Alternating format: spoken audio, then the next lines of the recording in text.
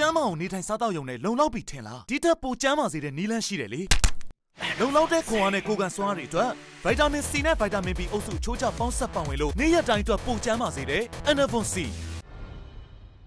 2020ရွေးကောက်ပွဲအလွန်မှာပေါ်ပေါက်လာမဲ့အစိုးရကိုညွန်ပေါင်းအစိုးရဖြင့်ဖွဲ့စည်းနိုင်မှုတိုင်းသားပါတီအချို့ကမျှော်လင့်နေကြတာတွေရှိနေပါတယ်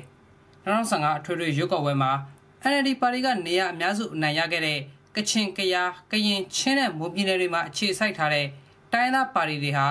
ပါတီ၃လေးခုကွဲနေတာကနေတပါတီတဲ့အဖြစ်ပူးပေါင်းလှုပ်ဆောင်နေကြပါတယ်ဒီအတွက်ကြောင့်လာမယ့်2020ရွေးကောက်ပွဲရဲ့ရလဒ်ဟာ2015ရလဒ်လို့ပါတီတစ်ခုတည်းကအများစုအနိုင်ရတာမျိုးမဖြစ်တော့ဘူးလို့တိုင်းသားပါတီတွေအနေနဲ့ယုံကြည်နေကြသလိုပြည်နယ်တွေမှာသူတို့အနေနဲ့နိုင်ရရှိပြီးရွေးကောက်ပွဲအလွန်မှာညွန်ပေါင်းအစိုးရဖွဲ့စည်းနိုင်မှုလိုလားနေကြတာပါ ညွန်ပေါင်းအစိုးရဆိုတဲ့အနေအထားကိုကြိုးဆိုပြီးဒီလိုမျိုးပေါ်လာမှသာလူနည်းစုတိုင်းသားတွေရဲ့လိုလားချက်အခွင့်အရေးတွေကိုလက်တွေ့အကောင့်ထဲပေါ်ဆောင်ရနိုင်မယ်လို့ချင်းပြည်နယ်အတွင်းကပါတီတွေစုပေါင်းပြီးဖွဲ့စည်းထားတဲ့ချင်းမျိုးသားဒီမိုကရေစီအဖွဲ့ချုပ်ပါတီကဆိုပါတယ်။ငင်းပြောင်းအစိုးရပေါ်လာရေးကိုကျွန်တော်တို့လူချင်းနဲ့ကျူရှူတဲ့ပြည်ထောင်စုတစ်ခုအလုံးအတွက်လဲ Federal Democracy ပေါ်ဆောင်တဲ့နေရာမှာအကျူပြီးမယ်လို့ကျွန်တော်တို့ယုံကြည်တယ်။ဒီအတိုင်းလက်တွေ့မှာအကောင့်ထဲပေါ်ခြင်းတဲ့ ပါတီနဲ့ကျွန်တော်တို့ပေါင်းရမှာပဲ။ငင်းပြောင်းအရှူရလဲဖွဲ့ရမှာပါပဲ။မူဝါဒကိုပဲကျွန်တော်တို့ကြည်တယ်။ကျွန်တော်ရဲ့မူဝါဒကိုဒီပါတီကြီးကနော်ဒီအဖွဲ့ရှိကလက်ခံသလား။နော်တဘောတူသလားဒါကိုပဲကျွန်တော်တို့ကြည့်ပြီးတော့ခြေလှမ်းလှမ်းဖို့ပြင်ဆင်ထားပါတယ်တိုင်းသားပါတီတွေဘက်ကတက်ဆိုင်ရာပြည်နယ်တွေမှာအနိုင်ရရှိပြီးညွန်ပေါင်းအစိုးရဖွဲ့ဖို့ဆန္ဒရှိနေပေမဲ့အာဏာရအမျိုးသားဒီမိုကရေစီအဖွဲ့ချုပ် NLD ပါတီကတော့2015အထွေထွေရွေးကောက်ပွဲလို့ တပြည်လုံးမှာအပြတ်သက်နိုင်ရဖို့အတွက်ပြင်ဆင်နေပါတယ်။ NLD ပါတီရဲ့ရွေးကောက်ပွဲအောင်နိုင်အဖွဲ့မှာဒေါ်ဆန်းစုကြည်ကိုယ်တိုင်ဥဆောင်လာသလိုတမရဦးဝင်းမြင့်လည်းပါဝင်လာခဲ့ပါတယ်။ NLD ပါတီပြောရေးဆိုခွင့်ရှိသူဒေါက်တာစောမြင့်မောင်ကတော့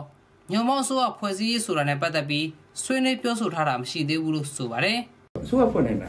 ကျွန်တော်တို့ပဲရှိတယ်လေကျွန်တော်တို့ပဲရှိတယ်ဆိုတော့ပါတီကြီးနှစ်ခုရှိတာပေါ့ဗျာသုံးခုရှိရှိမယ်ပေါ့နော်ကျန်တဲ့အားလေးတွေမှာမရှိမှမရှိဘူးလေအဲကိုပေးလိုက်တဲ့သူက ဟိုအစိုးရမဖွဲ့နိုင်မနဲ့ဆိုဘာပြောင်းလဲမှုလုပ်နိုင်မလဲကိုဒေတာကျိုးလဲထိထိရောက်ရောက်မလုပ်နိုင်အစိုးရဖွဲ့နိုင်တဲ့ပါတီကိုပေးလိုက်ပြီးတော့မှအဲ့ဒီထဲမှာနေမှာကျွန်တော်တို့ရဲ့ဟိုကိုယ့်ရဲ့အခွင့်အရေးကိုတဖြည်းဖြည်းခုနပြုစုပြောထောင်တဲ့ဟာကပိုကောင်းတာပေါ့လေရွေးကောက်ပွဲအချို့ကာလမှာ NLD အနေနဲ့ညိုပေါင်းအစိုးရဖွဲ့စည်းဖို့စိတ်ကူးထားတာမရှိဘူးလို့ပြောဆိုထားပေမဲ့ပြီးခဲ့တဲ့ရွေးကောက်ပွဲလိုအပြတ်သက်အနိုင်ရရှိတာမျိုးမရှိခဲ့ရင်ညွန်ပေါင်းဆိုးကဖွဲ့စည်းရေးဆိုတာကိုပြန်စဉ်းစားမှာက NLD ပါတီပဲဖြစ်တယ်လို့ အရင်က NLD ပါတီနဲ့မဟာမိတ်ဖြစ်ခဲ့တဲ့ရှမ်းတိုင်းသားများဒီမိုကရေစီအဖွဲ့ချုပ်ပါတီ SNLD ရဲ့အထွေထွေတွင်းမှုစိုင်းညုံတွေကပြောဆိုလိုက်ပါတယ်ကျွန်တော်တို့ကပါတီအာဏာရှင်စနစ်ကိုမကြိုက်လို့တောင်းလုတ်ခဲ့ဟိုဟိုလုတ်ခဲ့ရလေနော်ဆိုညမောဆိုတာမလိုဘူးညမောဟိုပါပေါ့နော်ဆိုတပါတီအာဏာရှင်စနစ်ကိုပြန်သွားနေတာပဲဖြစ်တယ်ဒါတော့ကျွန်တော်တို့ပြင်းပြင်းထန်ထန်ကောက်ကွက်ပါတယ်နော်အခု2020ယူကောပွဲနိုဝင်ဘာကျရင်လုံးမဲ့ယူကောပွဲကနော် ဘဝချင်းနေပေါ်လာမှာပါဆိုသူတို့ဆန္ဒအတိုင်းပေါ့အလုံးတော်မျိုးကမ်းမျိုးနောက်တစ်ချိန်ပြန်နိုင်တယ်ဆိုလဲခုနမှန်တင်တဲ့ဥစ္စာမှန်တာပေါ့မှန်တယ်သို့တော်လည်းပဲအဲ့အချိန်မျိုးမဖြစ်လာခဲ့ဘူးဆိုရင်ကြာရင်တော့သူတို့ကိုယ်တိုင်တမျိုးပြန်စဉ်းစားမှာပါကျွန်တော်တို့စဉ်းစားကြမလို့ပါ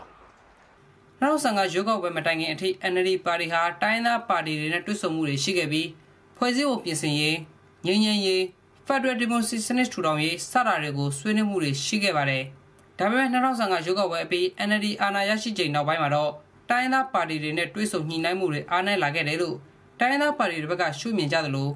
တိုင်းသားတွေဘက်ကလည်း NLD ပါတီဟာတိုင်းသားတွေရဲ့အတန်ကိုမျက်ကွယ်ပြုလာကြတယ်လို့ပြောဆိုလာကြတာတွေရှိနေပါတယ်ခင်ဗျာ။